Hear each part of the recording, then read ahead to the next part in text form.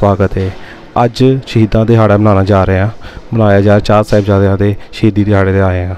ਤੇ ਮੇਰੇ ਸਾਹਮਣੇ ਭਾਈ ਸਾਹਿਬ ਆਏ ਨੇ। ਭਾਈ ਸਾਹਿਬ ਜੀ, ਅੱਜ ਸ਼ਹੀਦੀ ਦਿਹਾੜਾ ਹੈ ਤੇ ਇਹਦੇ ਬਾਰੇ ਤੁਸੀਂ ਤੁਹਾਡੇ ਕੀ ਵਿਚਾਰ ਨੇ?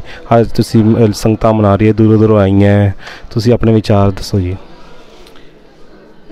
ਵਾਹਿਗੁਰੂ ਜੀ ਕਾ ਖਾਲਸਾ, ਵਾਹਿਗੁਰੂ ਜੀ ਕੀ ਫਤਿਹ। ਅੱਜ ਬਹੁਤ ਵੱਡਾ ਅਹਿਮ ਦਿਹਾੜਾ ਹੈ।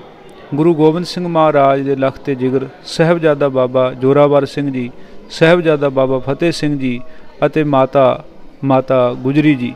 ਉਹਨਾਂ ਦੀਆਂ ਮਹਾਨ ਸ਼ਹਾਦਤਾਂ 13 ਪੋਹ ਨੂੰ ਅੱਜ ਦੇ ਦਿਨ ਇਹ ਸਾਰੀਆਂ ਘਟਨਾਵਾਂ ਹੋਈਆਂ ਸਨ।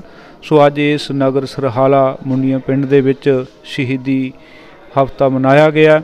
ਸੋ ਮੈਂ ਇਹੀ ਬੇਨਤੀ ਕਰਨਾ ਚਾਹਾਂਗਾ, ਜੈਸਾ ਅੱਜ ਅਕਾਲ ਤਖਤ ਸਾਹਿਬ ਤੋਂ ਵੀ ਹੁਕਮਨਾਮਾ ਇਹ ਸੰਗਤਾਂ ਦੇ ਪ੍ਰਤੀ ਸੁਨੇਹਾ ਸੀ ਵੀ ਮੂਲ ਮੰਤਰ ਦੇ ਜਾਪ ਵਾਹਿਗੁਰੂ ਦਾ ਸਿਮਰਨ ਕੀਤਾ ਜਾਵੇ, ਸੋ ਇਹੀ ਸਾਡੀ ਜ਼ਿੰਦਗੀ ਦਾ ਸਰਮਾਇਆ ਹੈ ਕਿ ਜਿਹੜੀ ਗੱਲ ਗੁਰੂ ਕੇ ਲਾਲ, ਗੁਰੂ ਕੇ ਸਾਹਿਬਜ਼ਾਦੇ ਸਾਨੂੰ ਦ੍ਰਿੜ ਕਰਾ ਕੇ ਗਏ ਨੇ, ਵੀ ਸੱਚ ਦੀ ਜਿਹੜੀ ਆ ਨਾ ਅਸੀਂ ਉਹ ਸੰਭਾਲ ਕਰਨੀ ਹੈ ਸੱਚ ਦਾ ਪੱਲਾ ਨਹੀਂ ਛੱਡਣਾ, ਜਿੱਡੀ ਵੱਡੀ ਕੋਈ ਮੁਸੀਬਤ ਮਰਜ਼ੀ ਆ ਜਾਵੇ ਤੇ ਜ਼ਾਲਮ ਨੂੰ ਜ਼ੁਲਮ ਕਰਨ ਵਾਲ ਨੂੰ ਇਹੀ ਕਹਿਣਾ ਕਿ ਸੱਚ ਕੋ ਮਿਟਾਉਂਗੇ ਤੋਂ ਮਿਟੋਗੇ ਜਹਾਨ ਸੇ।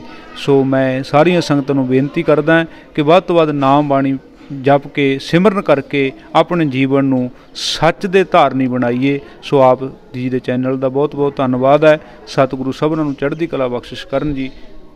ਭਾਈ ਸਾਹਿਬ ਜੀ, ਤੁਹਾਨੂੰ ਪੁੱਛਣਾ ਚਾਹੁੰਦੇ ਆ ਅਸੀਂ ਹਰ ਸਾਲ ਮਨਾਉਂਦੇ ਆ ਹਰ ਸਾਲ ਸ਼ਹੀਦੀ ਦਿਹਾੜੇ ਮਨਾਉਂਦੇ ਆ ਤੇ ਆਪਾਂ ਇੱਕ ਤੁਹਾਨੂੰ ਨਹੀਂ ਲੱਗਦਾ ਕਿ ਆਪਾਂ ਇੱਕ ਗੁਰਦੁਆਰੇ ਤੱਕ ਸੀਮਿਤ ਰਹਿ ਗਏ ਆ ਅਸੀਂ ਬਾਹਰ ਪਹੁੰਚਾ ਨਹੀਂ ਪਾਏ, ਅਸੀਂ ਤਾਂ ਗਲੀ ਗਲੀ ਪਹੁੰਚਾਉਣਾ ਸੀ ਪਿੰਡ ਪਿੰਡ ਪਹੁੰਚਾਉਣਾ ਸੀ, ਅਸੀਂ ਇੱਕ ਗੁਰਦੁਆਰੇ ਤੱਕ ਹੀ ਸੀਮਿਤ ਰਹਿ ਗਏ ਆ ਇਹ ਕਾਫੀ ਹੱਦ ਤੱਕ ਤੁਹਾਡਾ ਇਹ ਸਵਾਲ ਜਾਇਜ਼ ਹੈ। ਇਹ ਚੀਜ਼ ਪਿਛਲੇ ਕਾਫੀ ਸਮੇਂ ਦੇ ਵਿੱਚ ਮੈਂ ਕਹਾਂਗਾ ਵੀ ਪਿੱਛੇ 35 40 ਸਾਲ ਜੋ ਅਸੀਂ ਸੁਚੇਤ ਨਹੀਂ ਸੀ ਹੋਏ, ਉਹਦਾ ਇਹ ਨਤੀਜਾ ਸਾਡੇ ਸਾਹਮਣੇ ਆ ਤੇ ਅਜੋਕੇ ਸਮੇਂ ਵਿੱਚ ਕਾਫੀ ਜਾਗਰੂਕਤਾ ਵੀ ਆਈ ਹੈ ਤੇ ਇਹਦਾ ਜਿਹੜਾ ਨਤੀਜਾ ਆਉਣ ਵਾਲੇ ਦਿਨਾਂ ਵਿੱਚ ਸਾਨੂੰ ਜ਼ਰੂਰ ਮਿਲੇਗਾ ਤੇ ਜ਼ਰੂਰ ਸਾਨੂੰ ਕਿਉਂਕਿ ਗੁਰਦੁਆਰਾ ਜਿਹੜਾ ਨਾ, ਉਹ ਹੈ ਸੇਵਾ ਨੂੰ ਸਿੱਖਣ ਦਾ ਸਥਾਨ। ਹਾਂਜੀ, ਗੁਰਦੁਆਰਾ ਜਿਹੜਾ ਗੁਰਦੁਆਰੇ ਹੋਏ, ਸੋਝੀ ਪਾਏ ਸੀ। ਇੱਥੋਂ ਅਸੀਂ ਸੰਗਤ ਵਿੱਚੋਂ ਉਪਦੇਸ਼ ਗ੍ਰਹਿਣ ਕਰਕੇ ਤੇ ਫਿਰ ਸਾਰੀ ਧਰਤੀ ਜਿਹੜੀ ਆ ਨਾ, ਧਰਤੀ ਥਾਪ ਰੱਖੀ ਧਰਮਸਾਲ, ਸਾਰੀ ਧਰਤੀ ਸਾਡੇ ਵਾਸਤੇ ਸੇਵਾ ਕਰਨ ਦਾ ਥਾਂ ਹੈ। ਮਨੁੱਖਤਾ ਦਾ ਜਿਹੜਾ ਨਾ, ਜਿਹੜੀ ਸਾਡੇ ਘਰੋਂ ਆਵਾਜ਼ ਆਉਂਦੀ ਹੈ ਨਾ, ਗੁਰੂ ਨਾਨਕ ਦੇ ਘਰੋਂ ਨਾਨਕ ਨਾਮ ਚੜ੍ਹਦੀ ਕਲਾ, ਤੇਰੇ ਭਾਣੇ ਸਰਬੱਤ ਦਾ ਭਲਾ, ਇਹ ਸਿਰਫ ਪੜ੍ਹਨਾ ਹੀ ਨਹੀਂ, ਇਹਨੂੰ ਅਮਲ ਦੇ ਵਿੱਚ ਲਿਆਉਣਾ ਬਹੁਤ ਜ਼ਰੂਰੀ ਹੈ। ਅਮਲ ਸੇ ਜ਼ਿੰਦਗੀ ਬਣਤੀ ਹੈ, ਜੰਨਤ ਵੀ, ਜਹਨਮ ਵੀ। ਧੰਨਵਾਦ ਧੰਨਵਾਦ ਭਾਈ ਸਾਹਿਬ ਜੀ।